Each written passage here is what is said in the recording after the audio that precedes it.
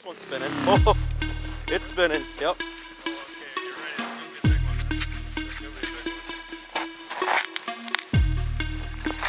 Oh, it's going.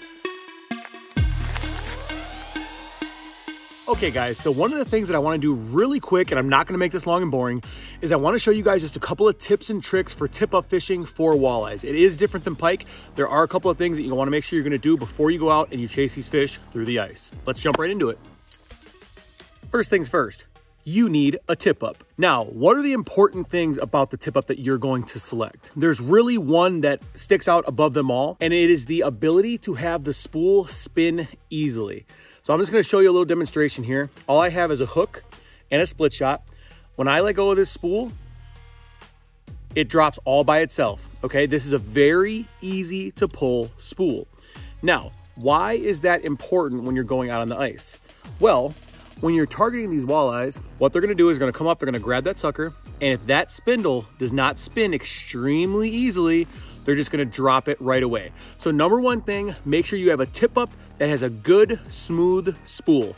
I really like these Frabills, but I also really love Beaver Dams. Tried, true, and they work amazing. Next little tip that works extremely good, in my opinion, much better than a marker bobber, is adding buttons. Add buttons to your line. When you mark your depth, all you have to do is slide this button to where you want it, and you'll have your marker all set, and you'll know where to go every time you drop back in. Next tip, pay attention to the hooks that you are using.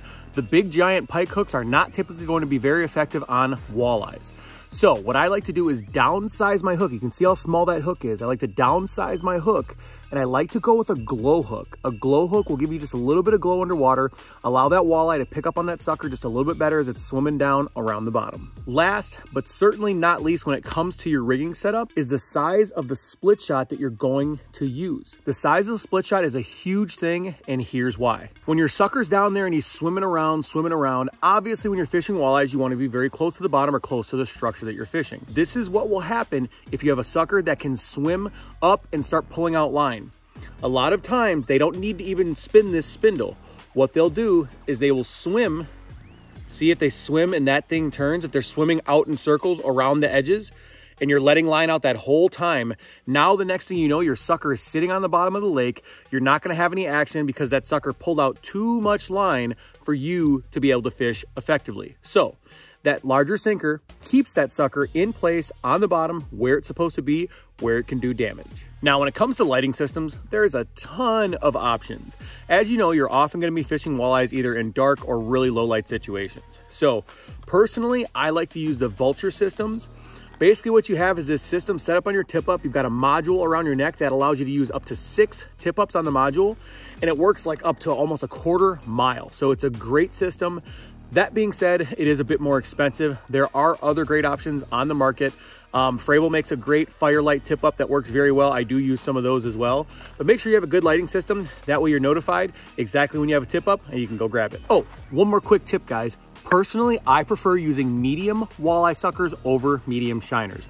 And what if you have a walleye sucker that's a little bit too feisty, all you have to do is take that tail and just clip the tail just a little bit. It'll take away some of that kicking power and that sucker will stay exactly where it's supposed to be. So medium suckers over medium shiners. And with that being said, hopefully you guys have some good tips to help you on the water.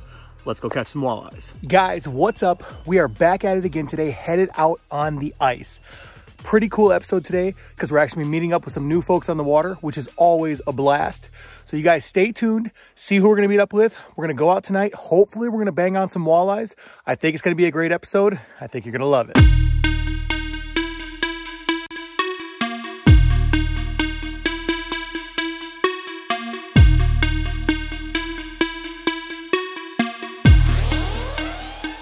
All right, so we're gonna get our depth set here, guys. Typically for walleyes, you're gonna usually be within foot of the bottom. We'll just use our marker here, and that will be able to mark the mark the line. We're gonna give ourselves that, that foot right there, and then we're gonna mark that foot spot.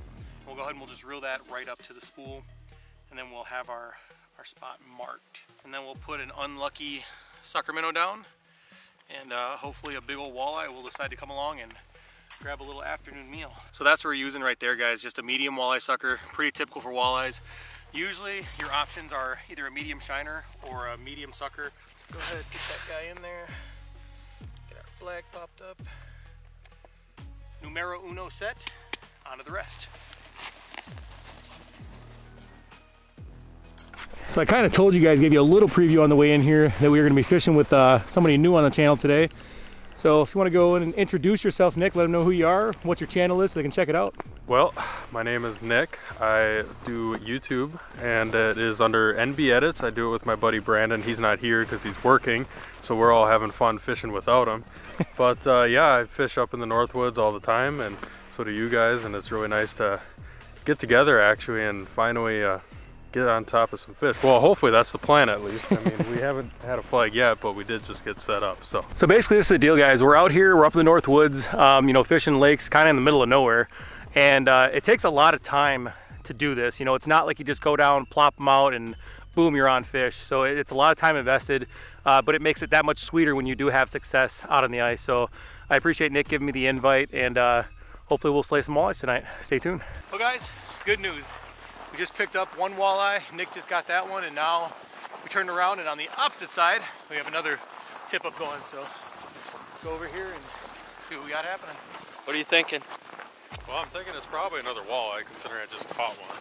Hopefully it's a little bit bigger. Mine was only about 16 inches. And uh, kind of disappointed because this lake produces some giants, but we're getting flagged. Maybe it's that pike coming back for redemption. Hey, you never know. Don't jinx me like that. Don't jinx me like that, either. well, guys, Nick just caught a really nice walleye. Bobber, yeah. And the bobber's right there. so there goes that clip. Yeah, that's a beaver dam one.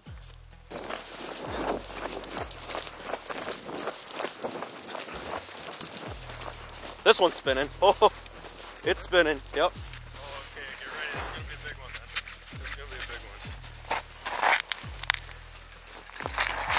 It's going. Got it. Oh, it's a big fish. It's a big fish. Yeah, they usually are when they're running like that.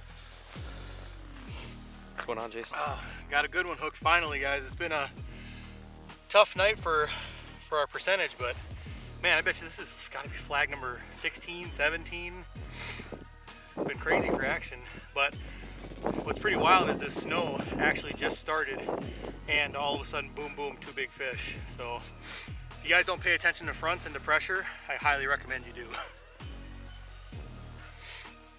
Big head shakes big head shakes. Just running look at that guys. Just stripping line. Big old head shakes. Wow it did take a ton it's of line. It's a big fish. It's very very Oh yeah, there he is. Oh yeah. Oh, That's, that's a big wall. walleye, dude. Yeah, like I'm taking it easy. The head shakes are massive though. it's crazy.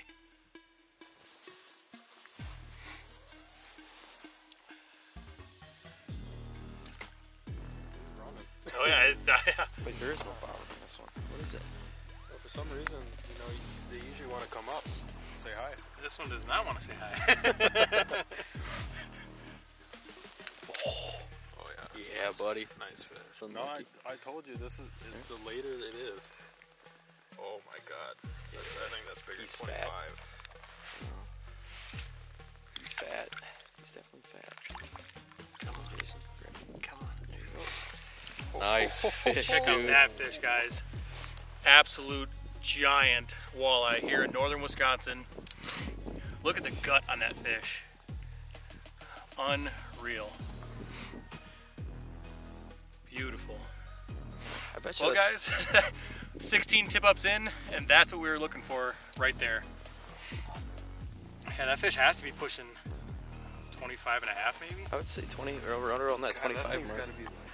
All right, guys, as always with these big, beautiful, mature fish, we're gonna go ahead and get it back in the water so it can continue to grow and uh, live out its life as a beautiful big walleye here in the north woods of Wisconsin. Look at that beautiful golden color on that fish. Absolutely gorgeous. You know, it's really important, guys, that when the fish are like this after their battle and they've got that lactic acid built up, that you don't just go shoving them back down the hole because basically they'll just go down to the bottom and they'll die. So you really want to hold on to them, get some oxygen flowing through their gills, and when they tense up and they show you they're ready to swim away, that's when you, you allow them to go. There she goes. See how she tensed up? Swam away perfectly. Back down to the Goodbye. Look at that. Oh my. Nice, Just long, back down to beautiful the tail depths. stick. You know, guys, doing this up in northern Wisconsin is amazing. We're out in the middle of nowhere. Um, it's desolate. There's there's no cabins. You know, it's a snowmobile ride back, and catching fish like that is what it's all about. So, I hope you guys like watching that because I sure like catching it. Well, guys, that's a wrap for today's video.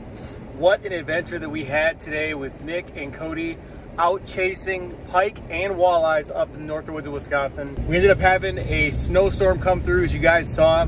And that snowstorm actually, I believe, is what triggered that big walleye that I caught in this video.